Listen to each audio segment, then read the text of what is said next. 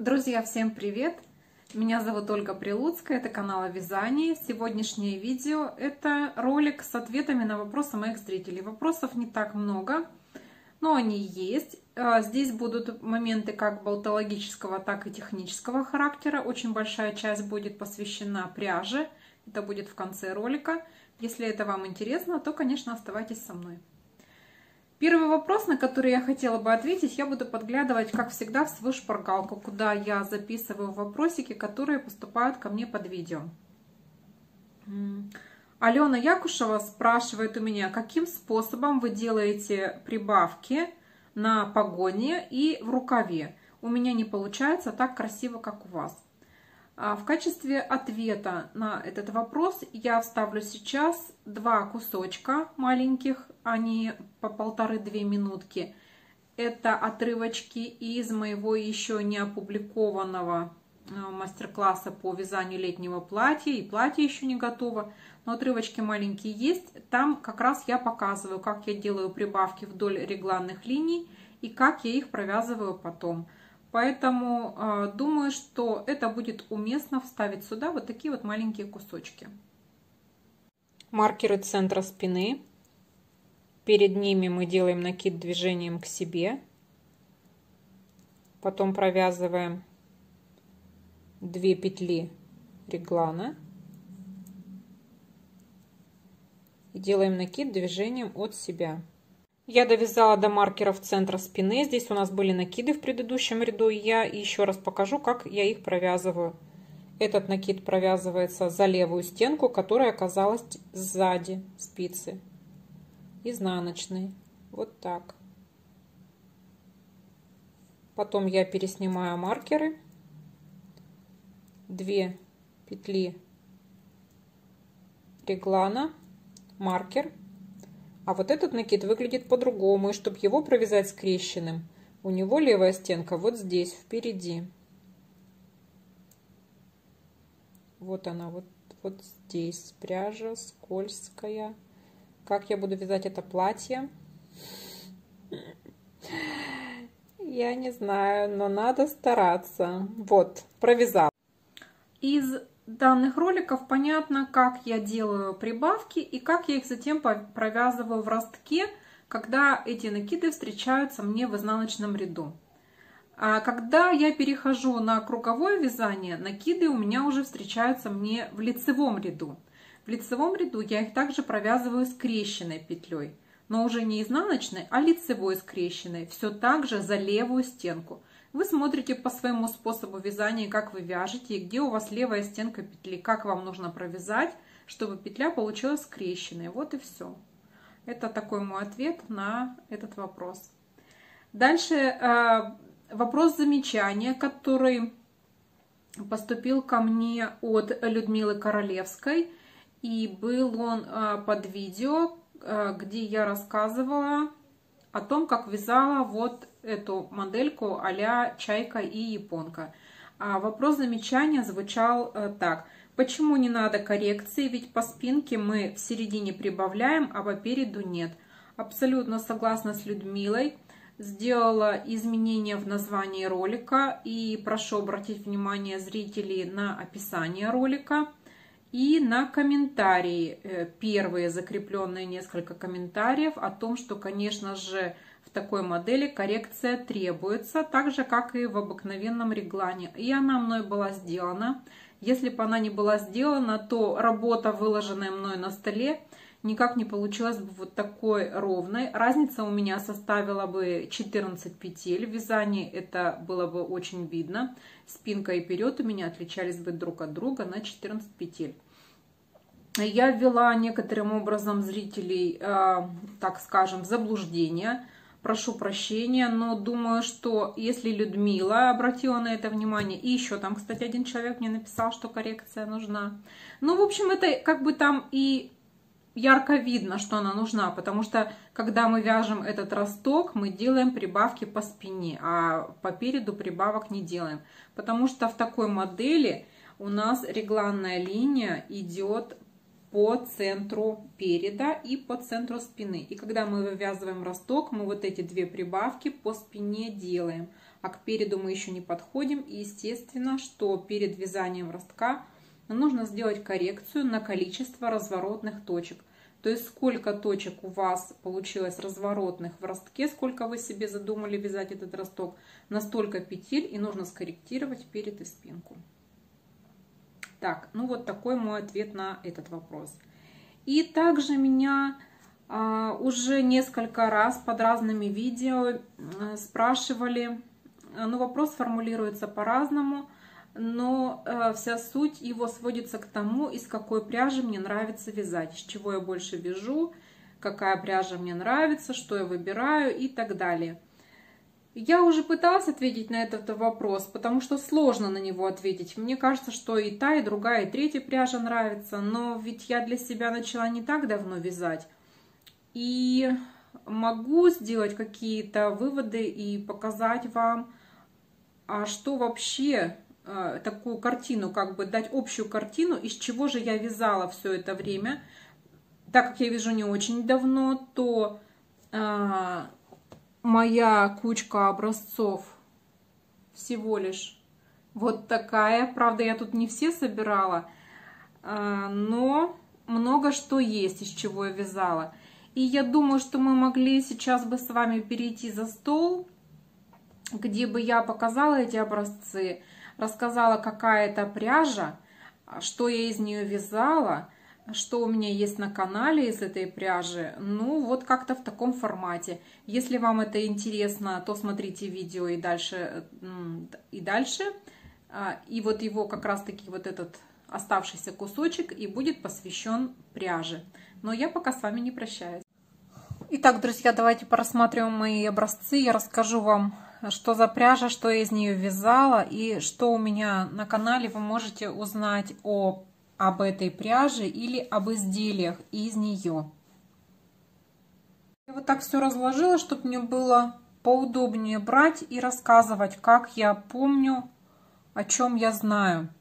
А сначала у меня идет пряжа на Кайстива. Это полухлопок, полухлопок с вискозой. Очень приятная пряжа, я немножко с ней поработала. На канале вы можете посмотреть обзор этой пряжи. То есть я прям там подробненько все про нее рассказываю, что за пряжа, метраж, э, провязываем узоры, рассказываю, как она себя ведет в лицевой глади различным номером спиц. Вот я вязала, вот как раз таки я помню вот этот образец для обзора. И мне кажется, что вот этот образец тоже был, был связан для обзора. Кроме обзора есть вот на этот узор попетельный мастер-класс, потому что я использовала этот узор, когда вязала тунику для дочери. Этот узор я вязала просто для себя, ничего, по-моему, я нигде его вообще не использовала. На этот узор крючком тоже есть попетельный мастер-класс на канале. Хотела вязать из него топ, но пока не знаю. А сейчас у меня из этой пряжи на Каэстива вяжется юбка. Юбка вяжется узором веерочки. И я ее показывала в одном из ближайших, или покажу в одном из ближайших своих влогов. Мне эта пряжа очень нравится. И если считать вискозу натуральным волокном, то можно сказать, что эта пряжа 100% натуральная. Она очень приятна как в вязании спицами, так и в вязании крючком. Спицами, конечно, а, вяжется маленьким номером. Я люблю вязать от четверки, поэтому а, один спицевый проект, конечно, я одолела, а теперь уже нет. Теперь вот я взялась вязать крючком. Это вот что касается пряжи на Каэстива. Это образцы из нее. Дальше. Дальше у меня есть образец вот такого плана. Это Кидмахер. Здесь, по-моему, 1600 метров в 100 граммах. Он очень пушистый. Я пробовала вязать образец. Издевалась над этим кидмахером. Подмешивала к нему. Подмешивала к нему. Так. А, вот я как делала. Я, значит, брала две нитки вот этого кидмахера. Вот и подмешивала к нему одну нить а, слонимской пряжи. Вот вязала такой образец. А вообще у меня из этой пряжи вот именно в две нити, из кидмахера в две нити связано, связан мой джемпер с круглой кокеткой. И я вам ставлю фото, покажу этот джемпер. И на него я составляла описание.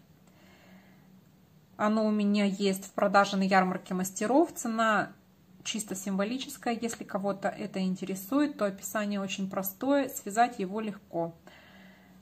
Так, что еще могу сказать по этой пряжице? Так как она бобинная, то о ней, в общем-то, ничего не известно. Кроме того, что серый кидмахер а, намотан сверху на черную нить. И такой приятный дает оттенок вязания. На теле, на теле, на теле нормально. Хотя я обладаю, в общем-то, чувствительной кожей, то мне такой кидмахер был на тело, в общем-то, нормальный хорошо я себя чувствовала. Дальше. Дальше у меня несколько образцов из бобинного твида. Весь этот твид, а, здесь у меня еще нет еще двух а, цветов. Вот здесь я представила темно-серый и светло-серый. А еще у меня были терракотовый и фиолетовый цвета. А, все от одной вот этой фирмы, от Lion Apple или Лин Эпью, я не знаю, как правильно это произносится, потому что я учила в школе немецкий язык. После L там буква И, если это по-немецки, и, наверное, это I, если это по-английски. Поэтому, наверное, Line Эпью. 80% шерсти и 20% ПА. Здесь а, в бобинках было 370 метров на 100 граммов. И из этой пряжи я вязала джемпер реглан погон сверху. И у меня этому проекту посвящено аж 10 видео на канале. Это был мой первый мастер-класс. Я еще не знала, как снимать мастер-классы. И думала, что... А, наверное, я и сейчас так думаю, что не надо все лепить в одно видео, которое будет продолжительностью полтора часа. И все моменты вязания джемпера реглан погон сверху я разбила на вот такие 10 этапов. Все поэтапно. Вот э, первое у меня видео, например, опозвано горловинка. Там второе видео, даже не горловина, у меня, по-моему, набор, набор петель, что-то как-то вот так. И все, все, все, все, все по этапам. Там я показываю и подрезы, и все на свете. Конечно, там качество съемки, качество съемки вообще не очень. Но по информативности я считаю эти свои мастер-классы, цикл вот этот, а, довольно-таки информативным. Там даже и с рукавом у меня хорошо поработано, с прибавками на расширение рукава, все рассказано. Поэтому, друзья, если кому-то интересно, то посмотрите. Что в образцах? Я ввязала для себя образцы. Делала я на этот твит обзор на канале. Он у меня есть, можно посмотреть. А, пыталась вязать а, косы и какой-то рельефный узор, но мне показалось, что в этом твиде это совершенно не смотрится. А, вязала и в одну нить, э, где заметила косину полотна, вязала в две нити, которое более устойчивое полотно. В две нити у меня связан мой кардиган в стиле колорблок, э, который мне очень нравится. Считаю его прямо такой отличной, отличной практичной моделью. В каком-то из видео я рассказывала об усыхании этого вида. А, джемпер, который был связан для дочери, а, висел у меня в одном шкафу, а джемпер, который... Как же там у меня получилось-то, что у меня в разных шкафах это висело? В общем, получилась, друзья, такая интересная история – либо у меня лапописа в другом шкафу висела. У меня просто еще лапописа была связана из этого вида. А, в общем, какие-то две работы из этого вида висели у меня в разных шкафах. Один из которых придвинут прямо к батарее, и в нем очень жарко в этом шкафу. А второй шкаф стоит в коридоре, и он вплотную к холодной стене коридора э, лестничной площадки. Так вот, когда я стала делать обзор, вот, наверное, когда я стала делать обзор на этот бобинный твит, и я и замеряла, насколько он усох. И получилось, что в жарком шкафу он усох намного больше, чем в прохладном. Поэтому, если вы не хотите, чтобы ваш, ваш, ваши твидовые изделия давали очень большую усушку, нужно хранить их где-то в прохладном месте. У меня там даже рассчитано в процентах. Я там вывела, как, как всегда, человек, который любит математику, расчеты, бухгалтерию. У меня там все выведено в процентах. Какой процент у сушки получился там и там. Вот, это, если кому интересно, то можете посмотреть. Так, с чего же я еще вязала? Что я вам еще хочу показать? Это, наверное, всем известная, знаменитая пряжа Янар Джинс. Очень она для меня комфортная и намного комфортнее и приятнее, чем подобная ей Alize Cotton Gold. Потому что в изделии от Cotton Gold мне, мне жарко, мне реально жарко. Я не знаю, чем они отличаются, но а, в джинсе у меня есть, у меня есть кроп, связанный с джинсом. Я вам сейчас поставлю фотографии сюда. Очень красивые фотографии в прошлом году были сняты моей дочерью вот здесь у нас в скверике возле дома, потому что было как раз готово мое описание на этот кроп. Оно тоже платное, тоже продается на ярмарке мастеров, тоже по чисто символической цене. Если кому-то интересно, то обращайтесь. Так вот, а, в этом кропе я ходила летом, а потом я связала футболку из Лизе Gold. И в футболке мне жарко, а в кропе нет. А потом этот кроп у меня перешел а, в полноценный джемпер, потому что ушли брюки с высокой талией, а мне захотелось носить его и дальше. Я там а, сделала, подпорола, набрала петельки и связала полноценное изделие. И до сих пор я его ношу. И это, получается, оно было связано весной прошлого года, и ему пошел второй год. Прекрасная пряжа, мне она очень нравится. Также из э, джинса, но который плюс, то есть толстенький джинс, я вязала чехлы на подушке. Но это я, э, это я распродавала на ярмарке мастеров. Тоже были очень прекрасные чехлы, на них фактурно смотрелись косы. Я покупала кофейный, белый оттенок и прекрасные были чехлы на подушке. Вот эта пряжа мне очень нравится. Если э, вязать, я бы из нее еще вязала. И вот сейчас, кстати, мой кардиган рыжий вяжется как раз из этой пряжи из джинса. Дальше, Семеновская Ирина. Это вот эти образцы. Есть у меня на канале видео, которое посвящено обзору российской пряжи Семеновской. Там а, видео называется «Семеновская Ирина парус и нежность. И там обзор вот этих трех видов пряжи. Я показываю изделия, которые вязала из них. И образцы как раз таки я вязала для того обзора. Если вам это интересно, то обязательно посмотрите, как ведет себя пряжа до стирки, после стирки. Все у меня там высчитано в процентах. Лицевая гладь, большим и меньшим номером спиц. Долго у меня пролежали три моточка этой пряжи, которые изначально были куплены под один проект, который у меня не состоялся. Но в конце концов сейчас я смогла... Нет, два, наверное, моточка. Третий-то у меня куда делся. Ну, неважно. А, сейчас я смогла полностью вывязать эту пряжу в такой проект, как моя чайка-японка, которым я очень довольна и с удовольствием буду эту туничку носить. Э, по туничке у меня есть видео на канале, по пряже есть видео на канале. Если хотите, то можете посмотреть. А, буду ли еще вязать из этой пряжи? Даже не знаю. Может быть и нет, потому что цепляется. При вязании довольно-таки сильно цепляется. Состоит она из нескольких нитей. Вискоза выделена здесь отдельной нитью, а не так, как, допустим, в Нака и Стива, где она вплетена в нить. И вот эти бесконечные цеплялки, они мне не понравились. Вот как-то так. А в чайке, в чайке японки она у меня идет как бы в, в комплексе с пряжей, которая хлопок, и этот хлопок букле, и он еще с пайетками.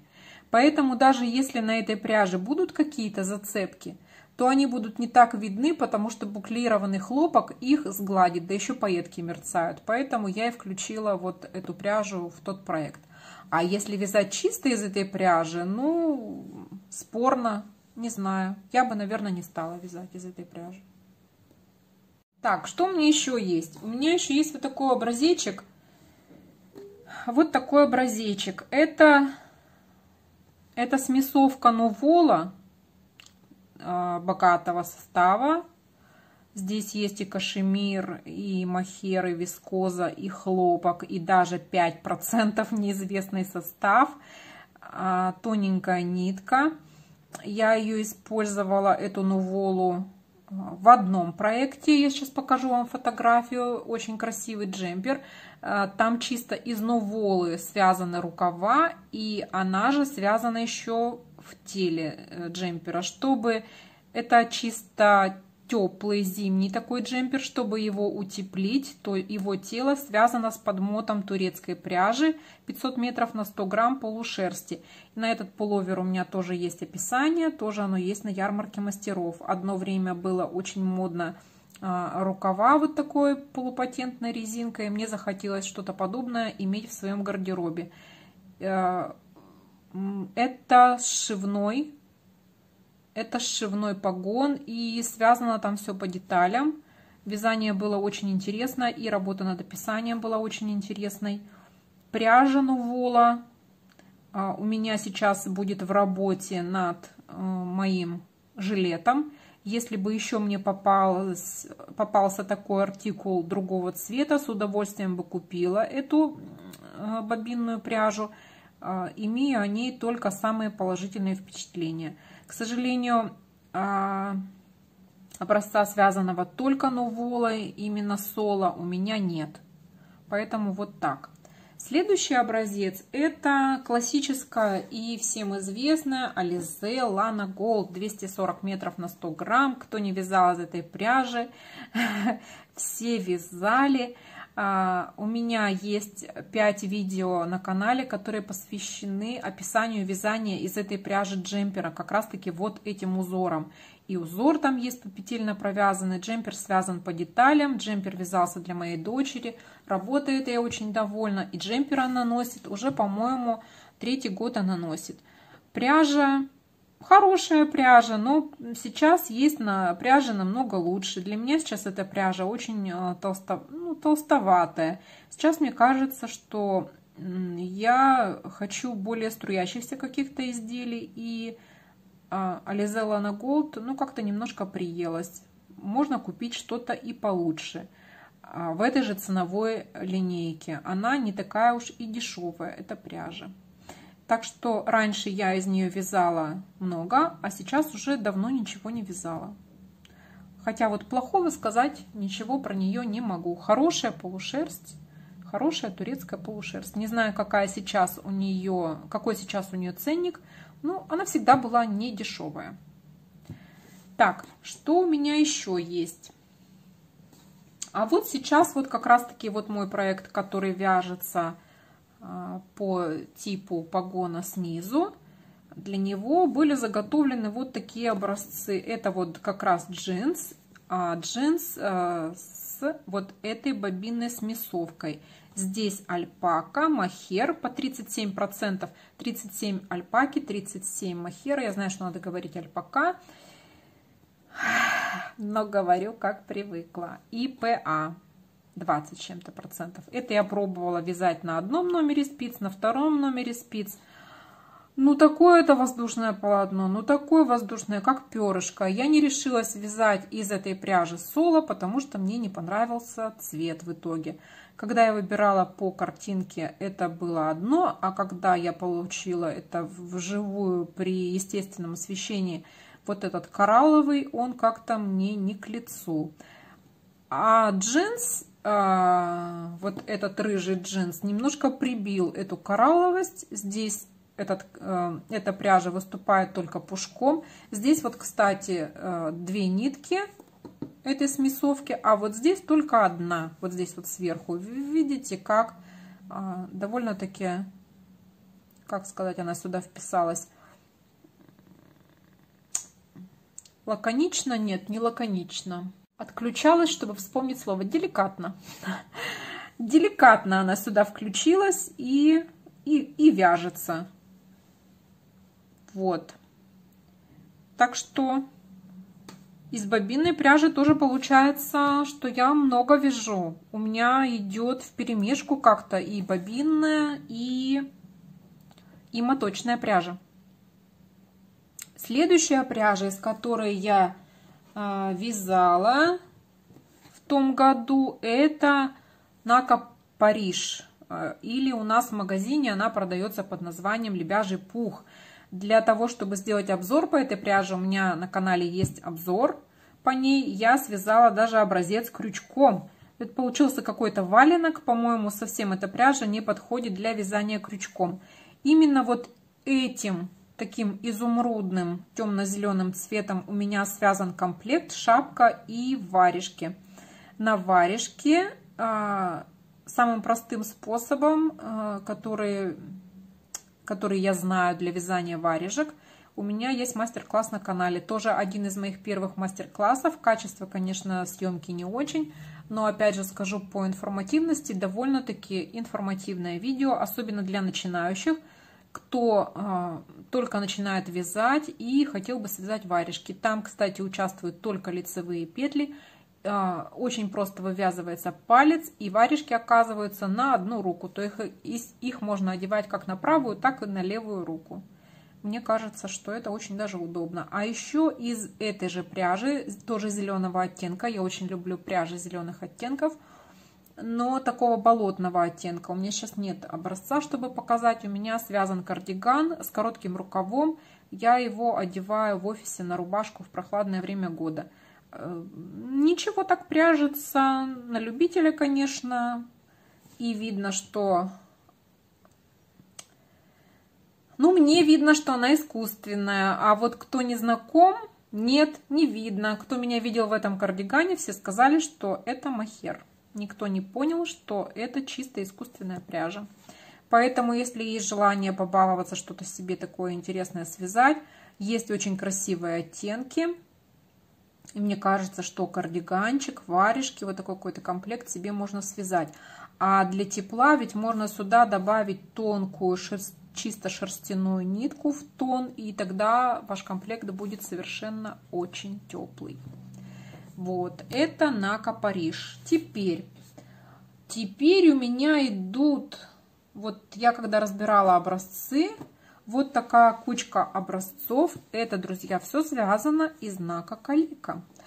А, и вот получается, что из этой пряжи у меня было связано очень много чего. Я вязала несколько образцов для обзора по этой пряже. То есть у меня есть на канале обзор по этой пряже.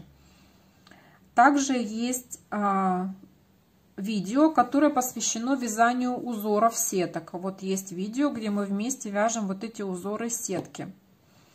Также из этой пряжи, а, а конкретно вот из этого цвета, я связала себе футболку. Вставлю фотографию, футболку по описанию Екатерины Радимовой. Этой работы я очень довольна. Замечательная получилась футболка. Также из этой пряжи у меня связан мой яблочный топ который я прекрасно относила все прошлое лето и буду еще носить в этом году. Из этой пряжи, а, вот этого молочного оттенка, у меня связан джемпер в стиле спортшик. Тоже вставлю фотографию, покажу. Прекрасный джемпер носила и буду носить.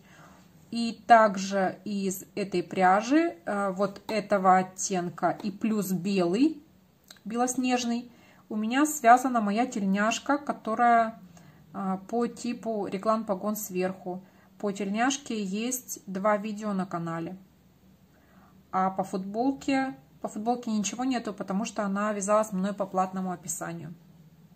И я вот так посмотрела свои, получается, образцы и записи. и довольно-таки много. Я связала из знака Калика, а сейчас на канале одной девочки я узнала, что эта пряжа снята с производства. И я очень расстроена. Почему так получается, что когда что-то тебе нравится, что-то хорошее, оно постоянно снимается с производства. Ну, это просто какая-то несправедливость, я считаю. Надо посмотреть, что сейчас есть в магазине, какие оттенки этой пряжи. Прям вот хоть иди и покупай. Хотя я никогда такого не делаю. Я не покупаю пряжу в запасы не понимая вообще, что я буду из нее вязать. Но вот именно ради этой пряжи, наверное, я могла бы поступиться какими-то своими принципами. К нам идет солнышко. Надо нам уже сниматься, снимать побыстрее. Так, что мне еще есть? Я вязала единожды из Alize Merino Royal. У меня есть на канале обзор на эту пряжу. И если я найду фотографию джемпера, который на мою дочь был связан, как раз таки вот этим узором, то я вам тоже сюда вставлю. Неоднозначное мое мнение об этой пряже. Мне кажется, она не стоит тех денег, за которые она продается. В общем, свое отношение к этой пряже я там все высказала, а, по-моему, в обзоре пряжи. Пряжа тяжеловастенькая. Э, очень непредсказуемо ведет себя после стирки именно в изделии. Мои расчеты, мои расчеты по поводу рукава очень сильно не оправдались, хотя я уже я уже знаю, что длину рукава рассчитывать бесполезно. Я ее и не считаю. А, я делаю ее только после примерки после стирки и после примерки. Но в этой пряже что-то уж у нас совсем как-то пошло. Мы и после стирки примерили, э, перевязали. Получилось как? Да, мы после стирки рукава примерили, перевязали, а потом, когда еще раз постирали изделие, то есть и сначала было полностью постирано изделие, и потом еще один раз было постирано, потому что рукав там пришлось подвязывать, э, резиночки пришлось делать. И это как бы, ну, не смотрелся этот участок, пришлось постирать еще полностью все полотно, ну, все полностью изделие. И рукав пришлось переделывать еще раз. Только я уже не помню, в какую сторону, уменьшать или увеличивать. И там получилось столько узлов, а узлы в этой пряже, она очень скользкая, узлы прячутся плохо очень, а моточки по 50 грамм. Это не, просто невыносимо. Изделие вязалось по деталям, Э, количество узлов зашкаливает, мне это не понравилось, ценовая политика на эту пряжу мне тоже не понравилась, и скорее всего, если вязать из мериноса, то я бы брала меринос бобинный, а не моточный, тем более по 50 грамм, тем более тализе за эту цену. В общем, с этой пряжей мне как-то не сложилось, и я больше из нее вязать не буду. Я знаю, что многие из нее вяжут, а я думаю, что она будет хороша для, мел для мелких аксессуаров. Возможно, на шапке это будет самое то, на плечевые изделия нет. Так, у меня есть образец из совершенно неизвестной пряжи. Я даже не знаю, вот зачем я его сюда положила, э, но хотела вам просто показать, что у меня была неизвестная бобинная пряжа черная. Мне ее подарили.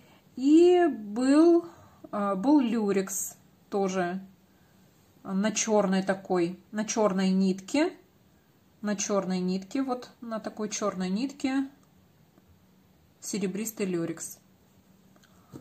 И совместив 6, по-моему, нитей вот этого неизвестного состава. Шерсть здесь, конечно, есть, потому что платье получилось теплое. И прибавив одну нитку люрикса, я связала платье.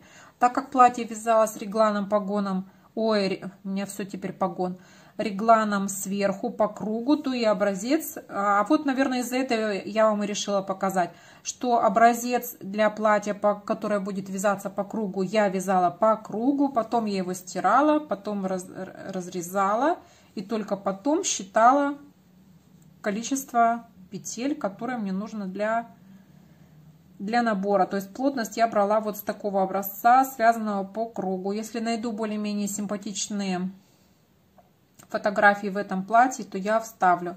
А, платье было связано мной а, для себя после одного так скажем, неприятного события в моей жизни. Я там себе не нравлюсь, как я выгляжу. Мне кажется, я там как-то резко похудела и плохо выгляжу. И поэтому в этом платье, мне кажется, у меня даже нет нормальных фотографий. А, собственно, о пряже что говорить. Единственное, что пряжа неизвестная, она и неизвестная, она вам никогда не попадется. А вот этот люрикс мне очень понравился. Я уже где-то о нем говорила. А сейчас я, наверное, а, найду бобинку, остатки и покажу вам его. Очень интересный. Вот смотрите, у меня здесь еще очень много осталось. Вот такая штукенция. Смотрите, на черную нитку нанесен люрекс. Эх, плохо видно.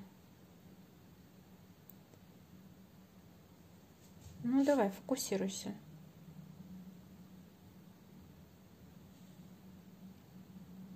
Вот. На черную нитку нанесен люрекс.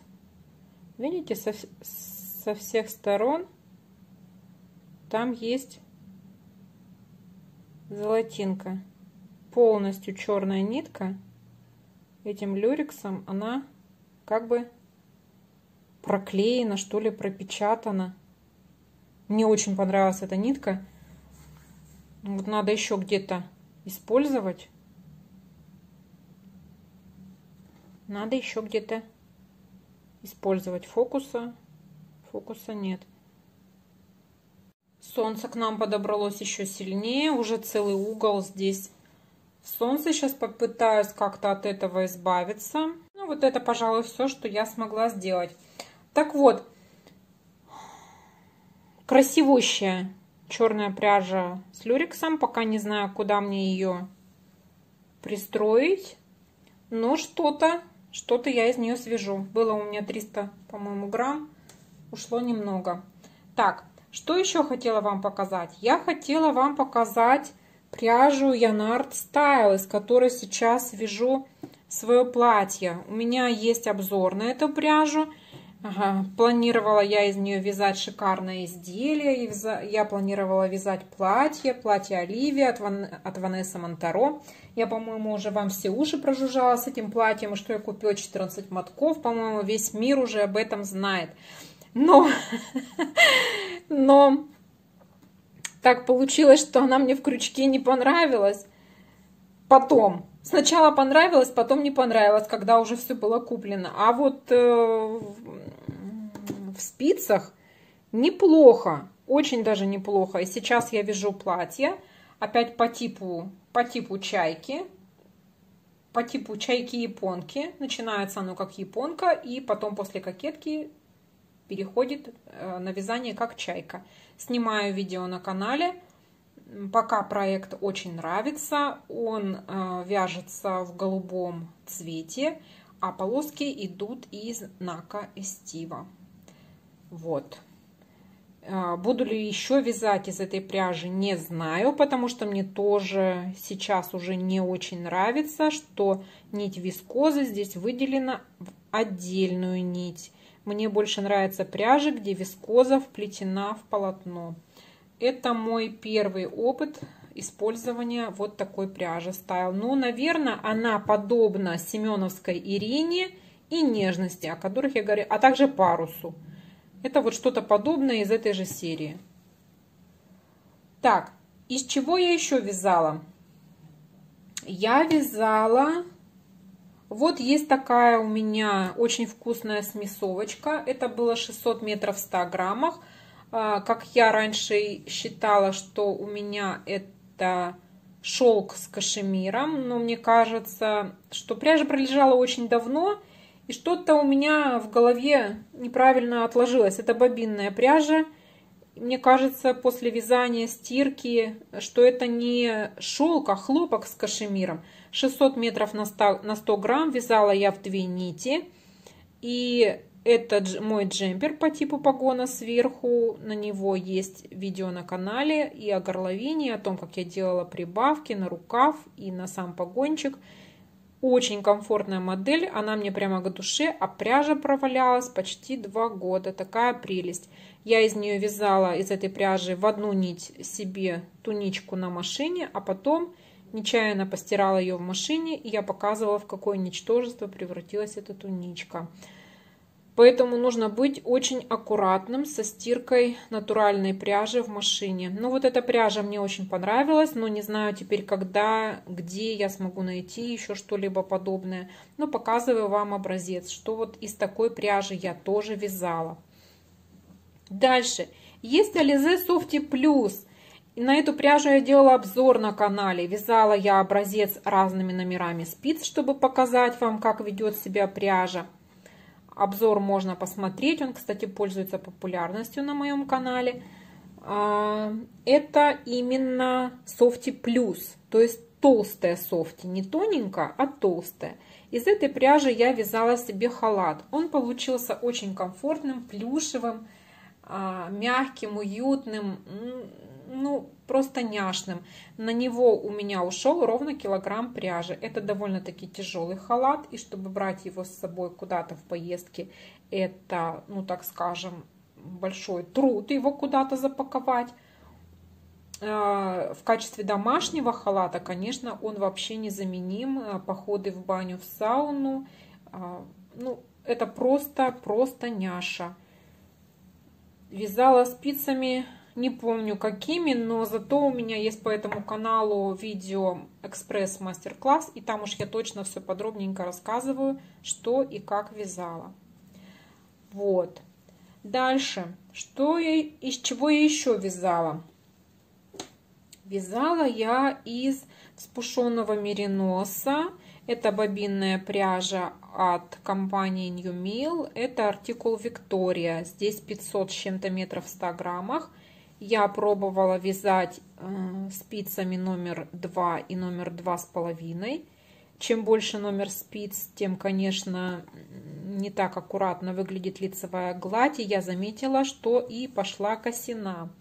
А, не знала я сначала, что вязать из этого мериноса, но потом а, мой выбор пал на остатки артикула Нувола, о которых я вам говорила – вот о том джемпере с рукавами а, полупатентной резинкой, на которой у меня есть описание. И я добавила сюда а, к одной нитке вот а, этого, этой Виктории, добавила две нити нуволы. Полотно получилось очень стабильное, приятное. И сейчас у меня из этой пряжи вяжется жилет. Получается, что это тоже чисто бобинная пряжа и практически 100% натуральная. А вот в этом, вот в этом получается мериносе 20% по, по-моему, есть. А может и нету. Или есть. В общем, запуталась. А вот это 95% натуральный состав. Здесь только 5% неизвестного. Может быть, он и не натуральный, этот 5%. Ну, очень теплый, очень мягкий. И, повторюсь, сейчас вяжу из него жилет. А так, если бы в одну нитку вязать, пришлось бы, ну, очень тонкими спицами, двойкой. Ну, двойкой я вообще не люблю вязать. Это не мой вариант. Цвет по системе Пейнтон называется березовый. Он вот именно березовый. У него вот я не знаю, видно вам или нет, вот в этой лицевой глади в полотне, прям как у березы, вот эти вот вкрапления такие седовато, седовато чер черные, вот такие, как мы в детстве рисовали березку, и на ней вот эти вот точки, вот это в полотне есть. Это настоящий березовый цвет. Последние две пряжи, с которыми я тоже поработала, прошлом году, это был и в позапрошлом году. Это пряжа от Нака, это Нака Super Excellence. Эти два образца я вязала для обзора по этой пряже. Это полушерсть, здесь 49% шерсти, 51% акрила, 228 метров в 100 граммах. Обзор на эту пряжу можно посмотреть на канале. Также из нее я вязала три джемпера. Я их где-то уже, по-моему, показывала. себе и дочерям у меня были связаны джемпера. Мой джемпер сейчас находится в не очень хорошем состоянии. Джемпер старшей дочери, она его носила меньше всего, находится в отличнейшем состоянии. Если я найду фотографии этих джемперов, я вам покажу. А может быть сейчас я найду и сам джемпер, чтобы показать вам. Вот именно эта пряжа, она мне нравится. А, косые рельефные узоры. Вот не лицевая гладь. И ее фишка это косые рельефные узоры араны. Ну вот, этот джемпер был связан в восемнадцатом году. Да, в восемнадцатом году. Связан он по деталям. Я хотела бы вам показать, как смотрятся в этой пряже рельефные узоры и косы. По-моему, замечательно. Пряжа очень мягкая, а, довольно-таки неплохо выглядит после средней степени эксплуатации. Я могла бы ее рекомендовать. И, наверное, я буду вязать из этой пряжи еще, потому что вот три изделия мы с дочерьми поносили. И будем вязать еще. И еще я вязала, друзья, из Alize Superlana Classic. Это тоже оттенок из зеленой линейки цветов, оттенок номер 138. Он такой оливковый. Этот образец я вязала для обзора этой пряжи. Если интересен обзор, можно посмотреть вот прям обзор по пряже. Также из этой пряжи в прошлом году я вязала берет. И по берету есть а, мастер-класс по петельной на канале, а также в моей рубрике «Математика и вязание» я даю математический расчет обоснования, а как же вообще вязать береты. А, как делать прибавки и убавки, чтобы получилось вот это вот кругленькое счастье, которое называется беретик. А, кстати, этот расчет математический тоже пользуется популярностью. Люди говорят спасибо, что я сделала вот так, так, такой вот расчет, а как же все-таки связать берет из любого вида пряжи на любой размер. Если вам это интересно, то тоже можете посмотреть. Вот это все образцы, которые я нашла у себя. Конечно, это не все. Конечно, это не все, не все виды пряжи, которыми я успела повязать за это время. Кое-чего, я думаю, тут нет, потому что у меня бывало так, что я покупаю пряжи практически впритык и вяжу образец я следующим образом. Я так часто делаю. Я вяжу образец от какого-то мотка, и вот эту нить я не обрезаю. Здесь у меня мотается моток. Я иду с этим образцом, его стираю, его сушу, по нему делаю расчеты и распускаю распускаю и наматываю на моток эту пряжу и потом в дальнейшем использую ее в вязании. И часто я делаю еще так, э, перематываю этот моток, то есть а, делаю так, чтобы вот этот образец, распущенная пряжа, оказались в центре мотка. Так она выравнивается более лучше, если она потом требуется для вязания, то она потом получается такая уже ровненькая. Поэтому некоторые пряжи у меня совсем в образцы не попали. Ну вот, не знаю, что получилось по продолжительности. Наверное, очень длинное затянутое видео, но зато это получился полный мой ответ на вопрос, а из какой пряжи вам нравится вязать больше всего. Ну, а на этом, друзья, все. А, что я хотела бы вам сегодня рассказать и показать. Надеюсь, что была вам чем-то интересно и полезно. А, как всегда, буду рада вашим лайкам и дизлайкам, вопросам, комментариям. Всем пока. С вами была Ольга Прилуцкая. До новых встреч. Пока-пока.